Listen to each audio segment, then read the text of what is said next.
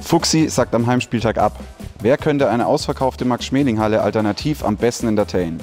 Tim Mattes, Milos Vujovic, Fabian Wiede oder Jakob Holm?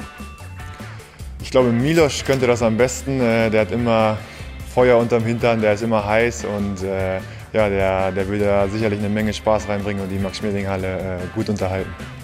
Du musst unbedingt mal wieder zum Friseur. Wer darf Hand anlegen und deine Haare schneiden? Paul Drucks, Fabi Wiede, Stefan Kretschmer oder Nils Lichtlein? Fabi Wiede. ähm, ich glaube, der hat das ruhigste Händchen.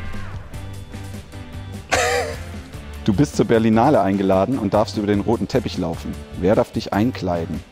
Lasse Andersson, Walter Grins, Paul Drucks oder Bob Hanning?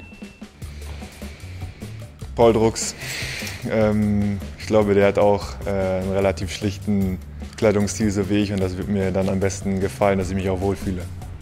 Ihr spielt im Training Fußball. Wen brauchst du unbedingt in deinem Team? Dejan Milosavljev, Lasse Andersson, Mijailo Marsenic oder Johann Koch? Von den vier Fußballvirtuosen würde ich Lasse Andersson wählen.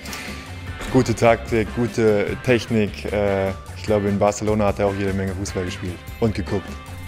Du hast keine Lust mehr auf Handball und willst auf Reisen gehen. Mit wem würdest du ein Jahr Work and Travel in Australien machen? Hans Lindberg, Tim Mattes, Walter Grins oder Nils Lichtlein? Ich glaube mit Tim Mattes, äh, weil wir am ehesten auf einer Wellenlänge sind und äh, den langen Zeitraum äh, zusammen aushalten könnten und äh, sicherlich auch eine Menge Spaß haben würden. Du machst bei Wer wird Millionär mit? Wen wählst du als Telefonjoker? Hans Lindberg, Frederik Genz, Stefan Kretschmer oder Mattes Langhoff?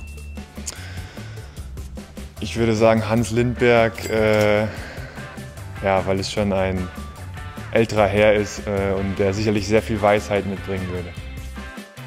Und letzte Frage, du willst dir unbedingt ein Tattoo stechen lassen, weißt aber nicht welches Motiv.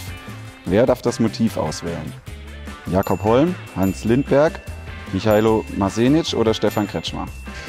Ein Tattoo kommt so oder so für mich nicht in Frage.